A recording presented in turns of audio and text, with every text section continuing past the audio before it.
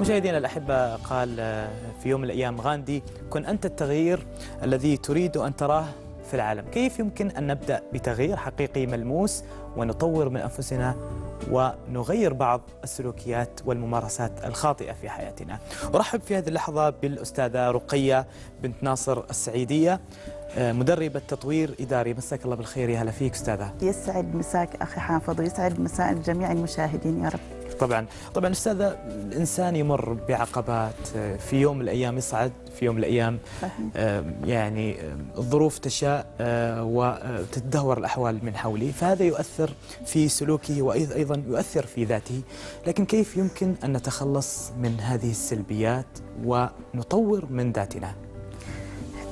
أجمل يعني ما ابدا فيه الحواري أو النقاش هذا اللي راح يكون بإذن الله تعالى إلى نهاية البرنامج هو خير دليل من القرآن الكريم. إن الله لا يغير ما بقوم حتى يغيروا ما بأنفسهم. اذا إحنا عندنا هنا إشارة انطلاقة إنه التغيير يبدأ دائما من الداخل. أنت عشان تقدر تغير الآخرين لابد إنه أفعالك تكون مطابقة لأي قول أنت تقوله. بمعنى ماذا؟ إنه أفكارك مبادئ عادات تقاليد عندك هذه الأفكار تترجمها كلها للواقع بطريقة إيجابية. وأنت مثل ما قلت العبارة المشهورة كن أنت التغيير الذي تريده في العالم. بالتالي أي إنسان يمر بهذا يطرح نفسه. يعني سؤال أنا ماذا أريد من العالم؟ ماذا أريد من الأشخاص اللي هم حوالي سواء كانوا أقارب أصدقاء موظفين معي زملاء عمل أو في المجتمع الخارجي بشكل عام هنا بتحتاج ماذا؟ بتحتاج أنه على سبيل المثال أنا أحتاج أنه يكون عندي مثلا أخ يعني يتحمل مسؤوليتي بالتالي أنا شو المطلوب مني؟ أني أنا أتحمل في البداية المسؤولية نعم إذا أطالب أنه يكون عندي مثلا زوج أو زوجة تؤدي حقوقها تؤدي واجباتها تجاهي. بالتالي أنا ما أطالب هذا الشيء بالقول بس. لا أبدأ بمرحلة التغيير اللي أنا أصنعها من خلال الفعل. لو طابقت أفعالي مع سلوكياتي بالتالي المجتمع الثاني راح يتقبل هذا شوي شوي مع مرحلة التغيير. لكن لو كانت عملية التغيير مجرد حوار أو مجرد يا أستاذ حفيظ المفروض إنك تكون أنت صادق تكون صاحب مبادئ تكون وهكذا أنت راح تتقبل مني؟ طبعا لا, لا. ما راح تتقبل. ليش؟ لأنك يمكن أنا أكون السلوك اللي أنا فيه سلوك ما ما يمت صله بالحوار اللي يصير بيننا صحيح. أو بالطلب اللي أنا أطلبه منك. أيضا بالنسبة لي لما أطالب إنه على سبيل المثال إدارة الوقت ألتزم إن في دوامي آه لابد إني أنا أكون ملتزمة ملتزمة إني أنا أحضر وقت الدوام من الساعة السابعه والنصف إلى الثانية والنصف. بالتالي هذا إذا ترجمته إلى الواقع راح أكون كأني قدوة للآخرين. وهكذا. يعني إيش اللي جعلنا اليوم نريد التغيير ونريد أن نغير من أنفسنا؟ إذا أردت إنك تغير نفسك لابد إنك أول خطوة إنك تتخذ قرار التغيير. عشان تتخذ قرار التغيير لازم يكون عندك وعي آه وعي بالواقع اللي أنت عايشينه بالذات. تكون عندك رؤية واضحة يكون عندك اطلاع وبعد نظر للمستقبل. من هنا تبدأ باتخاذ قرار يساعدك على إنك تتغير. طيب أنا كيف أتغير؟ أو البشر كيف يتغيروا؟ يتغيروا من خلال اتجاهين. الاتجاه الأول أشخاص يكونوا قد يكون إنه هذا الشخص يتأمل يتأمل بأي موقف يصير حواليه. حدث عندك موقف. نعم. أنا أشوف أراقب إيش اللي صار إيش اللي النتائج اللي حدثت بعد هذا الموقف نتيجة التصرف اللي أنت تصرفته. بالتالي تبدأ عملية. أيضا تحصل القرآن الكريم السنة النبوية قصص الأنبياء قصص الصحابة. هذه كلها تساعدني على أني أنا أتأمل فيها على أساس أني أنا أقدر من خلالها أني أتخذ سلوكيات بالفعل قائمة على أساس صحيح. يحضرني هنا قصة جميلة اللي هي قصة سيدنا بلال بلال الحبشي. والكل نعم. يعرفه كيف أنه كان هو عبارة عن عبد كان يعيش مع سياده وكان بإمكانه إنه يظل بذيك الطريقة. ويقول في نفسه أنا عبد صح ولا لا؟ صحيح. وعنده المبرر اللي يساعده على إنه يظل نفسه. لكن هو اتخذ قرار حاسم بعملية التغيير وبدأ أول خطوة. هذا القرار اللي هو اتخذه أكيد إنه في عقبات كثيرة. منها لو تلاحظ إنه هو تحمل التعذيب. تحمل الهجرة في جوف الليل هاجر مع المهاجرين. آه، تحمل نتيجة قراره اللي اتخذه اللي هو خاض آه، آه، غزوة أحد. نعم. فمن هنا لكن القوة الداخلية أو الإيمان الداخلي اللي في داخله في نفسه إنه هو قادر على إنه يحدث فرق ويكون قدوة للآخرين اجتاز هذه الصعوبات كلها. فالقرار اللي أنت تتخذه يحتاج قوة قوة إرادة وعزيمة وصبر. نتيجة قرار بلال إيش اللي صار؟ إنه أصبح أحد المبشرين بالجنة. بالجنة. إذا هذا هو عملية التغيير. الجانب الآخر اللي هو عشان تتغير إيش اللي يصير؟ إنك توقع في مشكلة أو مصيبة كبيرة تهز كيانك تساعدك على عملية تحس نفسك التغيير. مثل ما يقولوا طحت وبعدين تبدأ تتغير من نفسك. وهنا طبعا هذا التغيير من هذه الناحية شوي يشكل مشكله يعني ما بتكون عندك بنفس الإرادة أو القوة السابقة أو سهولة التغيير. ليش؟ لأنه هنا يمر الإنسان بدرجه ضعف. يعني درجة ضعفي أنا قد تكون 90% أنت قد تكون 50% يعني بمعنى إنه الوعي عندك أكبر. فبالتالي تقدر تتخطى هذه المشكلة أو هذه الصعوبة ب- بطريقة أسهل مني. لكن أنا بحتاج فترة ويمكن أحتاج مؤثر خارجي, خارجي. يساعدني على عملية طيب التغيير. يعني كلامك يدفعني إلى فضول. هل أنا أتغير ليتغير الآخرين من حولي؟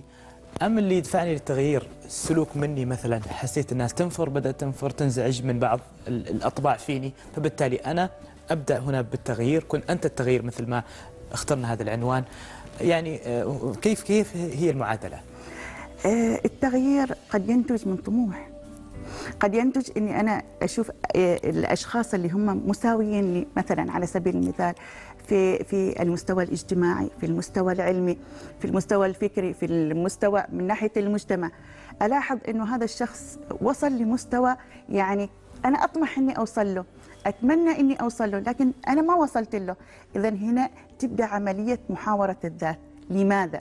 لماذا؟ لماذا؟ طيب السؤال اللي يطرح نفسه شو الشيء اللي ينقصني إني أنا أوصل منه وأكون أفضل منه في المستقبل أو أحقق طموح أكبر من اللي أتمناه أيضا. هنا تبدأ عملية التساؤل الآخر اللي هو أين أنا من واقعي الحالي وماذا أريد أن أحقق؟ لكن هنا آه، كيف شكل هذا التغيير مثلا أنا أريد أثر في أبنائي فأنا آه، يعني آه، الراعي وأنا المسؤول في البيت وأريد أيضا أؤثر من حولي زوجتي بمن حولي. فأنا أبدأ أعتقد بتغيير من نفسي صحيح. وأيضا أتنازل عن بعض الأشياء. صحيح. آه، عملية تأثيرك تكون درجة القوة اللي تأثر بها بالآخرين بقدر ما أنت تتمسك بالمبادئ والقيم اللي أنت تحاول تزرعها في الأطراف الآخرين. على سبيل المثال أنت تريد أنه ابنك ينظم وقته. نعم. آه، يشوف تلفزيون في وقت محدد أو يشوف برامج محددة وبرامج أخرى ما يشاهدها. الشيء الثاني تريد مثلا التزامه بالصلاة. آه، التزامه بالوقت. متى آه، وجبة الغداء يحضرها ولا لا يأجلها آه، صلواته الخمس يؤديها ولا لا. آه، كيف تطالب من هذا الطفل إنه يكون بهذا المستوى وانت. أقوم بهذا الفعل. أيوه أنت ما تقوم به إذا كنت ما تقوم به ما راح هو يكون في, في نفس المستوى على سبيل المثال. إذا كنت أنت على سبيل المثال ترجع من الدوام آه وتنام طول فترة العصر هو ما شافك إنك أنت أديت صلاة العصر. آه بعد بعد ما تصحى أنت دايركت تخرج وتروح مع زملائك مع مع مع هو كيف يقدر يلتزم مثلا على سبيل المثال بفترة ال- الوقت المحدد والجدول اللي انت عاطينه نعم. أو هو إذا كان في مستوى إنه يسمح له يعد جدول مخصص له كيف هو يلتزم فيه والقدوة المثالية له ما ملتزم بالجدول اللي وضعه كنظام في البيت نعم إذا أنا أطالب ابني إنه على الساعة 9 على الساعة 8 على الساعة 7 يكون متواجد وممنوع الخروج من البيت إذا أيضا إني أنا أحدد لنفسي وقت محدد لتواجده في البيت نعم. ويشكل هذا نظام العائلة كلها تمشي عليه من هنا بتبدأ عائلتك شوي شوي بالتغيير. إنها بالتغيير كل ليش؟ هذا- لأنه بالفعل في سلوكيات أمامها. يعني الأم تقوم بواجباتها ملتزمة بالوقت حسب الجدول المنظم لهم. الز- الزوج أو الأب آه، بنفس الآلية. اذا الأبناء تلقائيا. وبينشا عندك جيل يعني ملتزم آه، جيل بالفعل يقدر الوقت يقدر المبادئ يقدر القيم. هل للتغيير هناك أنواع في التغيير في حياتنا؟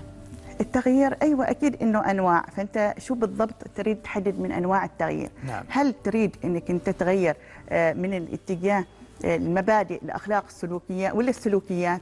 هل هو مبدأ قائم آه، على السنة والقرآن الكريم ولا مبدأ قائم على العادات والتقاليد؟ نعم. فهنا أنت اللي تحدد. أنت ماذا تريد بالضبط؟ ومن خلالها تبدأ آه، تكون عندك الرؤية واضحة آه، وتضع مثل الخطة لهذا التغيير آه، طبعا عملية التغيير بتكون راح تكون آه، تتغير وتتفاوت تبعا لمستوى اللي أنت وصلت له نعم آه، يعني لو قلت لك إنه المستوى اللي أنا وصلت له على سبيل المثال يحتاج جهد ويحتاج طاقة أكبر من اللي أنت راح تبذلها في عملية صحيح. التغيير بالنسبة لك. وهكذا. أكيد. يعني أعتقد نظرية التغيير متشعبة وتختلف هنا المدارس والآراء والأفكار حول نظرية التغيير. لكن اليوم أستاذ أنت ترين في مجتمعنا أي نظرة هي أقرب للتغيير؟ أنا أشوف إنه التغيير يبدأ بالقدوة. إذا أنت حطيت يعني إذا لامست آه، قدوة آه، ذات مبادئ راح تكون مبادئك تبعا هذا. لكن أحيانا في بعض الأحيان إيش اللي يصير في هذه العملية في عملية التغيير؟ إنه يصاب الإنسان بعثرات يصاب بمطبات ما كان حاط في باله إنه ممكن إنها تحدث له طيب. فتبدأ عملية آه، زحزحة أو عملية الاهتزاز وعدم الثقة في النفس ويبدأ يتراجع. هنا يحتاج يا إنه مؤثر خارجي يدعمه ويساعده على عملية التغيير يا إنه بيحتاج إنه كأنه يصاب يصاب آه، مثل آه، عملية الصدمة تعيد إنعاشه من جديد. في في في آه، عجاله كيف يمكن أن نشعر بالآخرين بأن هناك سلوك فيهم خاطئ يجب أن يغيروا من أنفسهم بدون ان نجرحهم